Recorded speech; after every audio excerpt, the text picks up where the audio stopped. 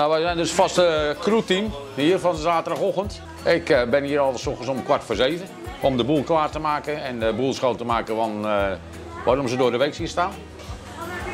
En dan vullen we alles bij en koffie zetten aan de andere kant, koffiemachine schoonmaken, broodjes, koeken, alles klaarzetten. En eh, als eh, mijn maat om half acht komt, dan eh, komt hij met de broodjes en de koeken en dan, eh, dan kunnen we alles klaarzetten en dan gaan we anders starten om 8 uur. Dan gaat hij om 8 uur open. Twee cappuccino. En als we wat nodig hebben, bellen we naar boven toe. Dan komt Arie Ellenberg, die komt het naar beneden brengen. Hoi Wim. Een doosje A. Ik zal Jaap naar je toesturen. Oké man. Gaat ook niet de hele ochtend door, maar toch wel regelmatig dat even gebeld wordt van... Ga je gevulde koekjes, ga je broodjes, ga je dit. Nou ja, wij maken de oude basis de broodjes gezond op maken. Dat gaat ook als een terrein momenteel, dus dat gaat eh, allemaal lekker. We halen aardig wat op voor de club. Want eh, wij staan meestal zaterdagochtends en eh, er is geen animo voor, van de andere dames en heren voor uh, zaterdagochtends te staan.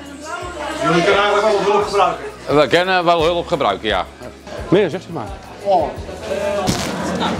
We kopen geen patat meer. Zo. Kijk eens alsjeblieft. Twee ploegen zou ideaal zijn, maar dat, eh, er komen wel momenteel mensen hierbij. Ook in deze hoek. Dus hoop dat er een paar afzakken naar de ochtendploegen. En dat is ons dingetje een beetje. Het is heel erg leuk om vrijwilliger te zijn in de keuken.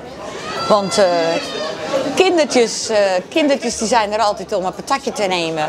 En ze staan ook wel. Er is morgens om kwart over tien al, mag ik al een patatje. Dus eh, ja, het is aan te vervelen.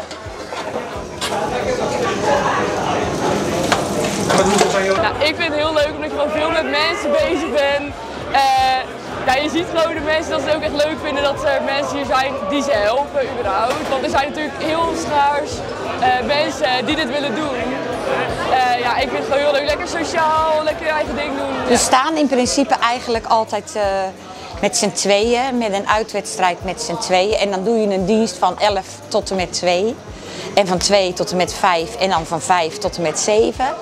Dus eh, ja, het, het, valt, het valt allemaal wel mee als je drie uurtjes staat. Thuiswedstrijden sta je vaak van 2 tot 5 met z'n drieën en van 5 tot 7 ook met z'n drieën. Omdat het dan heel erg druk is in de kantine en dan worden er veel schaaltjes besteld. En het is altijd voor de wedstrijd is het altijd erg druk met etenswaren halen. Eh, ik ben Lijn, ik sta hier achter de bar in de lounge. Samen met Jaap. En we staan hier bijna elke week staan we hier de mensen te verdienen. Dus eh doe ik ongeveer al een jaar of twintig als vrijwilliger. Nou, toen ik hier kwam had ik eigenlijk echt geen ervaring eh, qua horeca gedeelte.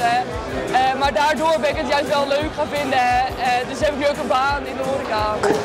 Er is er meestal eentje die dan bakt en eentje die verkoopt. Dus dat is gewoon makkelijk. En als, je dan, als er dan iemand een patatje bestelt, dan zet je dat klaar daar. En dan gaat eh, degene die bakt, die vult dat en die geeft dat aan de kinderen die, eh, of ja, de volwassenen of, of wie er dan ook zijn.